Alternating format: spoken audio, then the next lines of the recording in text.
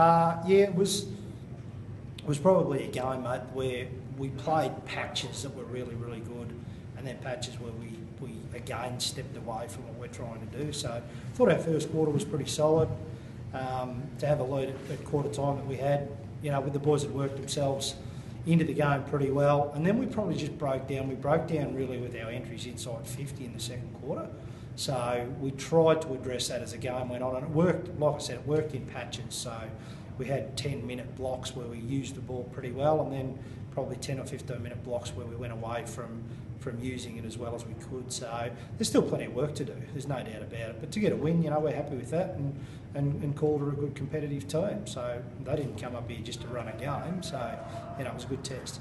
Um, close to finals now. I know you still got another week or so, but how important was that kind of hit out for the guys? Oh yeah, every week's going to be important, I think, Mel. So we've just got to we've just got to really fine tune some stuff. We're not far away from playing the brand of footy we want to play. So we're just we're just tinkering with a few things, and we'll probably do that again next week as we um, march towards a finals campaign. But um, you know, like I said, to get the points and you know to win against good opposition, you know, we're, we're going to be relatively happy with that.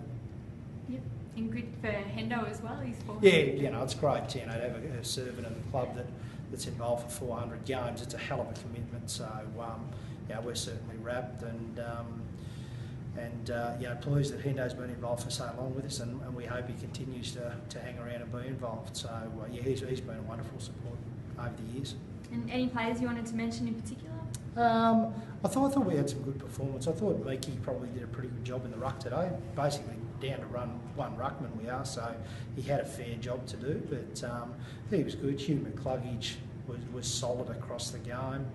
Um, a couple of our leaders stood up again today. Tux and Hopper were both pretty solid. Matty Johnson played um, relatively well again. So um, yeah, they were probably the guys that were that were pretty good. That sounds good. Good on you.